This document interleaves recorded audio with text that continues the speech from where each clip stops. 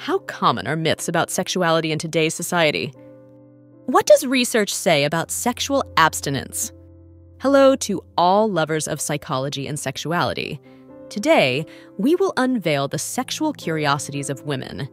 If you are interested in these topics, make sure to subscribe and activate the notification bell to not miss our future videos. Also, leave us comments and share your experiences in the section below. Let's get started. Myths about sexuality are quite common in today's society. Lack of accurate sexual education and the influence of cultural stereotypes can contribute to the spread of misconceptions. Debunking these myths is essential to promote a healthier and more realistic understanding of sexuality. Research on sexual abstinence shows that it can be a valid choice for some people in certain circumstances, such as preventing unwanted pregnancies or sexually transmitted diseases. However, there is no strong evidence that abstinence is the best option in all cases. Multiple orgasms some women can experience multiple orgasms in a single sexual session. This means they can reach climax several times in a short period without the need for a refractory period, which is common in men. Myths about premature ejaculation. There are several myths surrounding premature ejaculation, such as the belief that it is an issue exclusive to young men or that it is always related to lack of interest in the sexual partner. Need for relaxation. Relaxation is key for a pleasurable experience. The anal sphincter must relax to allow comfortable and enjoyable penetration. No relation to sexual orientation. Engaging in anal sex is not related to sexual orientation. Both heterosexual and homosexual women can enjoy this activity. Nonverbal communication. During foreplay, nonverbal communication, such as moans, whispers, and body gestures, can be as important as words to express desire and pleasure. Not for everyone. While open relationships work well for some people, they are not suitable for everyone. Some people find more satisfaction in traditional monogamous relationships, and it's okay to have different preferences regarding relationship styles. Open communication. Open and honest communication with a partner is crucial for discovering and satisfying each woman's sexual preferences. Discussing what is enjoyed and what is not, as well as trying new positions together, can strengthen the connection and intimacy in the relationship. Orgasm and aging. Although sexual response may change with age, many older individuals continue to enjoy an active sex life and satisfying orgasms orgasm without ejaculation. Similar to women, men can experience orgasms without ejaculation, an experience known as dry orgasm. This can occur for various reasons, such as practicing semen retention, orgasms, and menopause. Some women experience an increase in the frequency and intensity of orgasms after menopause, as hormonal changes can positively impact sexual function. Pain mitigation. Gradual pressure application and the use of sex toys can help mitigate the initial pain associated with anal penetration. Passion for learning. Showing interest in learning new things and continuing intellectual growth can be attractive. Pelvic floor muscles. Anal sex can strengthen pelvic floor muscles, which can have benefits for sexual and reproductive health. Persistent sexual arousal syndrome.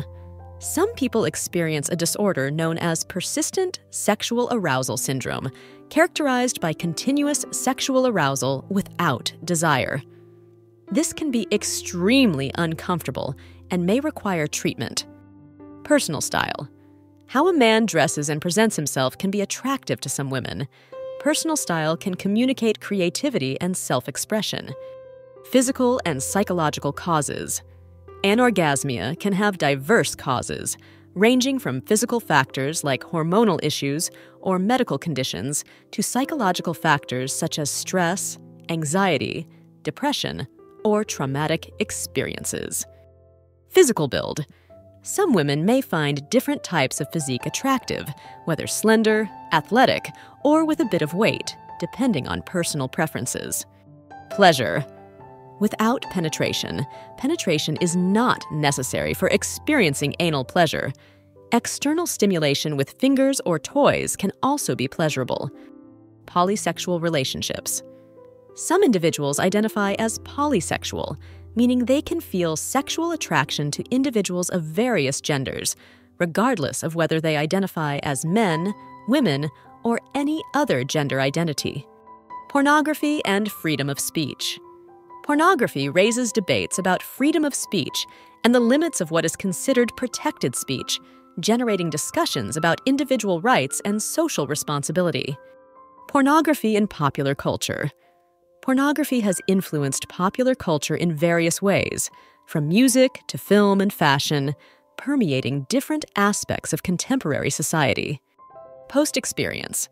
After anal sex, some people may experience temporary sensitivity or discomfort.